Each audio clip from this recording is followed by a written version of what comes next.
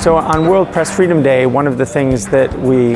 try to uh, remember and try to encourage is that individuals around the world, whether they're professional journalists, citizen journalists, um, even NGOs who are working in the field of uh, creating information, doing fact finding and, and analysis, uh, require protection. And they require protection because of what they do in democratic societies. They're essentially public watchdogs, is what the European Court of Human Rights called them.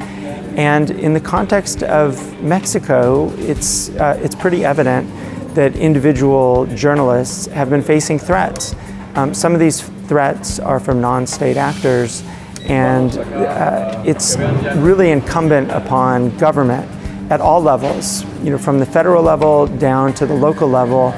to protect journalists, and not just to protect them for the work that they do in their own freedom of expression, but to protect them because of the role that they play in providing access to information uh, for the people of Mexico and for people around the world. Uh, Mexico did make an effort several years ago to create a mechanism to uh, establish accountability for attacks on journalists. And it's important for that mechanism to really be given